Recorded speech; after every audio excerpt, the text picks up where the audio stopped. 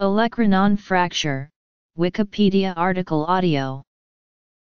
Olecranon fracture is a fracture of the bony portion of the elbow. The injury is fairly common and often occurs following a fall or direct trauma to the elbow. The olecranon is the proximal extremity of the ulna which is articulated with the humerus bone and constitutes a part of the elbow articulation. Its location makes it vulnerable to direct trauma. Classifications. Mayo classification. AO classification. Signs and symptoms. Mechanism. Diagnosis. Treatment. Non-displaced fractures. Displaced fractures Tension band fixation. Intramedullary fixation and plates. Excision and triceps advancement. Epidemiology. There are several classifications that describe different forms of olecranon fractures, yet none of them have gained widespread acceptance. Based on the stability, the displacement, and the comminution of the fracture. It is composed of three types, and each type is divided in two subtypes, subtype A and subtype B.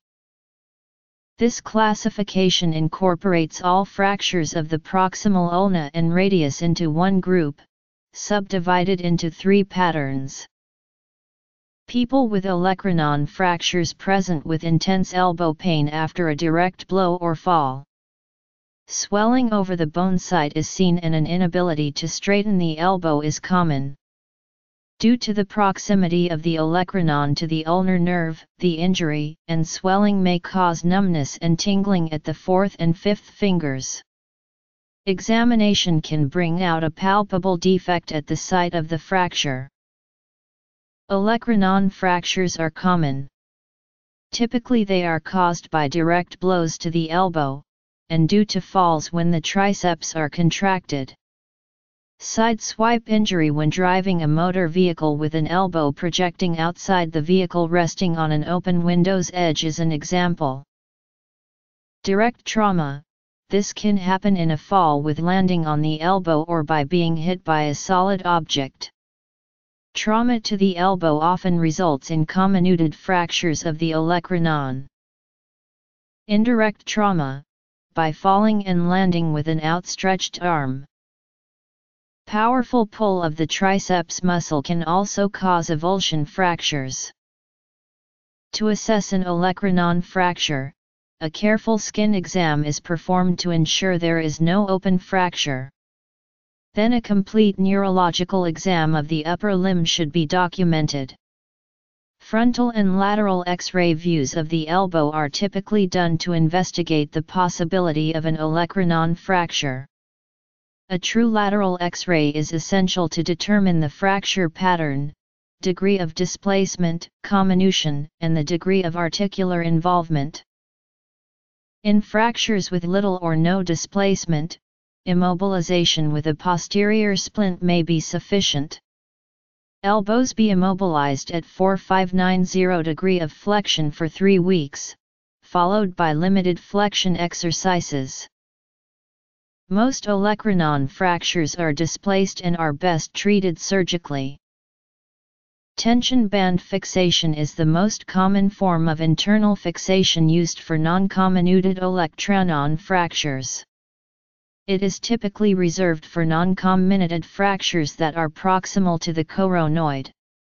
This procedure is performed using Kirschner wire which converts tensile forces into compressive force. Single intramedullary screws can be used to treat simple transverse or oblique fractures. Plates can be used for all proximal ulna fracture types including Monteggia fractures, and comminuted fractures.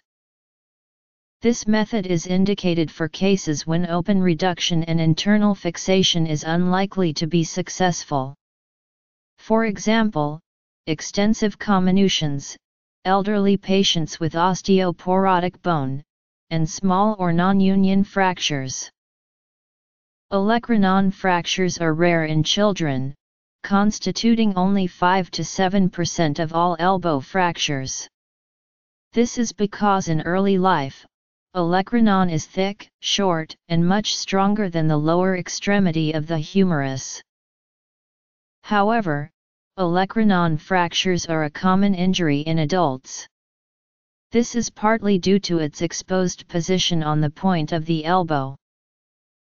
Type I, non-displaced fracture It can be either non-comminuted ones or comminuted, type 2, displaced, stable fractures in this pattern, the proximal fracture fragment is displaced more than 3 mm, but the collateral ligaments are intact.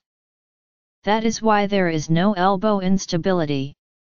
It can be either non-comminuted ones or comminuted, type 3, displaced instable fracture in this case, the fracture fragments are displaced and the forearm is instable in relation to the humerus.